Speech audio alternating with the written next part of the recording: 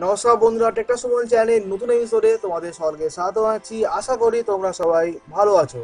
তো বন্ধুরা, তোমরা এটা নিশ্চয়ই কখনো ভেবে দেখেছ যে আজকের দিনে যে ফ্ল্যাগশিপ পরিষেবাগুলো আছে, যেমন এইট সিক্সটি ফাইভ এই সমস্ত যে পরিষেবাগুলো, এটা কখন আমরা মিড রেঞ্জ এবং বাজেট সেগমেন্টে আমরা দেখতে পাই না। যেমন পনেরো হাজার টাকা, কুড়ি হাজার টাকা এইসব প্রাইস সেগমেন্টে আমরা এই ফ্ল্যাগশিপ পরিষেবা দেখতে পাই না। আবার তোমরা এটাও ভেবে দেখবে যে হতে পারে, এই যে নতুন প্রসেসর এগুলোর দাম বেশি, কিন্তু আগের বছরের যে পুরনো প্রসেসর যেগুলো মধ্যে পড়ছে eight fifty five eight fifty five plus এই সমস্ত প্রসেসরগুলো কিন্তু কখনো মিড রেঞ্জ প্রাইস সেগমেন্টে দেওয়া হয় না। তো এইটার পেছনে অ্যাকচুয়াল রিজনটা কি? যার জন্য কোম্পানি আমাদেরকে কখনোই মিড রেঞ্জ এবং বাজেট সেগমেন্টে ফ্ল্যাগশিপ প্রসেসর দেয় না। আজকে আমি এই টপিকে কথা বলব। আশা করি আজকে ভিডিও টপিকটা তোমাদের ভালো লাগবে। তো বন্ধুরা, আমার নাম সুমন, তোমাদের ছোট্ট একটা সুমন চ্যানেল। চলো শুরু করা যাক।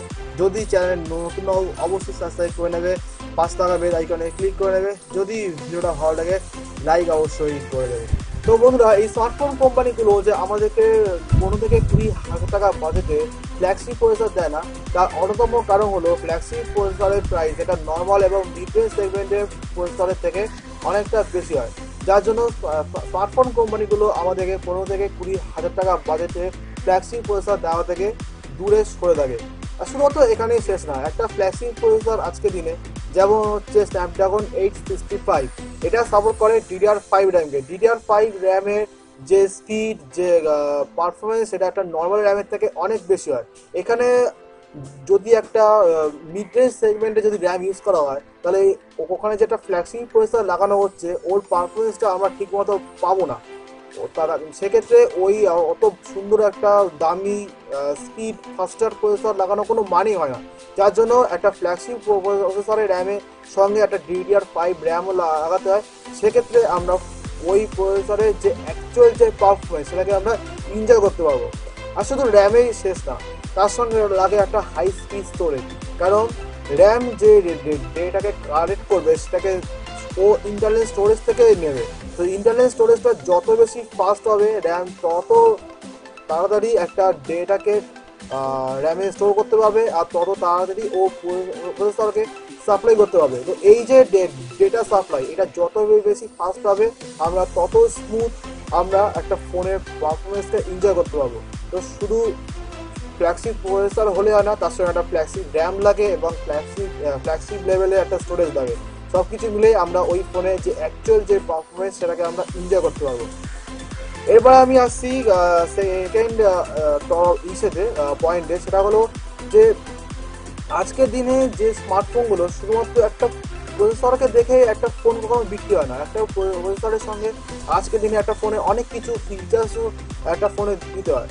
যেমন হলো আজকের দিনে ফাস্ট চার্জার আজকের দিনে একটা কুড়ি হাজার টাকার ফোনে এখানে থার্টি ওয়ার্ডের ফাস্ট চার্জার এসে গেছে। একটা ফাস্ট চার্জার দিতে হয়, এখানে ব্যাটারি যাতে ফাস্ট চার্জারকে সাপোর্ট করে, সেরকম ব্যাটারি দিতে হয়।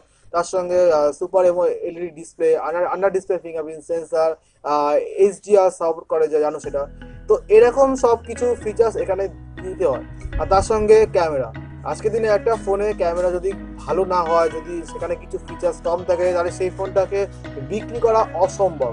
তো ক্যামেরা ক্ষেত্রেও কিন্তু একটা কোম্পানিকে যথেষ্ট মনোযোগ দিতে হয়, তাতেও কোম্পানিকে ইনভেস্ট করতে হয়। কারণ ক্যামেরার যে সফটওয়্যার এটা যে ইঞ্জিনিয়ার তাদেরকেও কিন্তু মাইনে দিয়ে এই সফটওয়্যারটাকে বানাতে হয়। তো এই সব কিছু মিলিয়ে যখন একটা ফোন যখন তৈরি হবে, তো ওটা প্রাইস কুড়ি হাজার টাকা থেকে বেড়ে তিরিশ হাজার টাকা হয়ে যাবে। তো ওটা- একটা ফ্ল্যাগশিপ প্রসেসর হয়ে যাবে। যার জন্য কোম্পানি সবসময় চায় যে আমরা সব কিছুকে আমরা ঠিকঠাক রেখে পনেরো থেকে কুড়ি হাজার হাজার টাকার মধ্যে যত পারব আমরা ফিচার্স অ্যাড করে আমরা ফোনকে বিক্রি করব। যার জন্য আমরা মিড রেঞ্জ এবং বাজেট সেগমেন্টে আমরা কোনো ফ্ল্যাগশিপ প্রসেসর দেখতে পাই না। এখানে তোমাদের মনে আরও একটা কোশ্চেন আসবে নিশ্চয়ই যে আজকের দিনে যে ফ্ল্যাগশিপ প্রসেসর সেগুলো হয়তো দাম বেশি। হ্যাঁ নিশ্চয়ই দাম বেশি। কিন্তু আগের বছর যে ফ্ল্যাগশিপ প্রসেসর সেগুলো তো কোম্পানি দিতে পারে। যেমন দু বছর আগে একটা processor Snapdragon eight forty five আগের বছরে Snapdragon eight fifty five eight fifty five plus এই লোকে কেন দেওয়া হয় না? এই লোকে কারণ দেওয়া হয় না, কারণ কোয়ালকম যখনই কোনো নতুন প্রসেসর লঞ্চ করে, তার আগে যে প্রসেসর সেগুলোকে তারা বানানো বন্ধ করে দেয়। যেমন আজকের দিনে রয়েছে স্ন্যাপড্রাগন এইট সিক্সটি ফাইভ, তো আজকের দিনে এইট ফিফটি ফাইভ কোয়ালকম বানানোই বন্ধ করে দিয়েছে। তো কোম্পানিগুলো প্রসেসর পাবে থেকে যার জন্য কোম্পানিগুলো বাধ্য হয়, একবারে যে লেটেস্ট প্রসেসর, সেইগুলোকে তারা দিতে বাধ্য হয়। তো এটা মিড রেঞ্জের ক্ষেত্রে। মিড রেঞ্জের ক্ষেত্রে একসময় একটা পপুলার চিপসেট ছিল Snapdragon seven one two. Snapdragon সাতশো বারো যেটাকে আমরা অলরেডি অনেকগুলো ফোনে দেখেছি এবং এর পারফরমেন্স দুর্দান্ত পারফরমেন্স কিন্তু আজকের দিনে এই প্রসেসরটা নেই। আজকের দিনে এর জায়গায় এসছে স্ন্যাপড্রাগন সেভেন টোয়েন্টি জি যেটার ক্ষমতা ওর থেকেও বেশি এবং ফিচার্স পারফরমেন্সের দিক থেকেও কিন্তু ওটার ক্ষমতা আরও বেশি। তো যার জন্য স্মার্টফোন কোম্পানিগুলোও কিন্তু বাধ্য হয় লেটেস্ট প্রসেসর দিতে এখানে পুরনো প্রসেসর না দেওয়ার আরও একটা কারণ হয়েছে সেটা হলো যে আজকের দিনে যে লেটেস্ট প্রসেসরগুলো যে লঞ্চ হচ্ছে, ওইগুলোর যে ক্ষমতা, ওইগুলোর যে পারফরমেন্স সেটা আগের যে পুরনো মডেলের প্রসেসর তার থেকে অনেক বেশি অ্যাডভান্সড হয়, অনেক বেশি ফাস্টার হয়।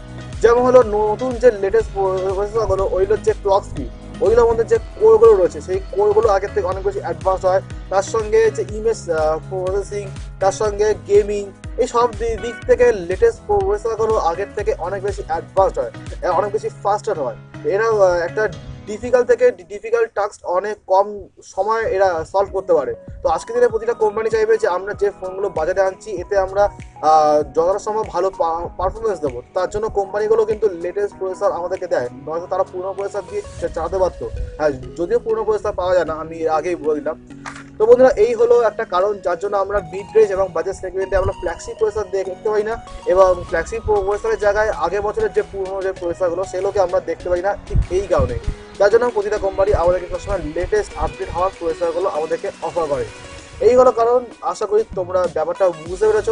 যদি আর আর কোনো কোশ্চেন থাকে, নিচে আমাকে কমেন্টে অবশ্যই বলবে। আমি অবশ্যই তোমাদের কোশ্চেনে অ্যান্সার দেবো।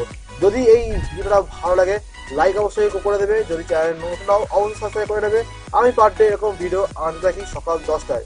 দেখা হবে তোমাদের সঙ্গে নেক্সট ভিডিওতে। ততক্ষণ তোমার সঙ্গে ভালো দেখো সুস্থ দেখো আর stay home stay safe tata.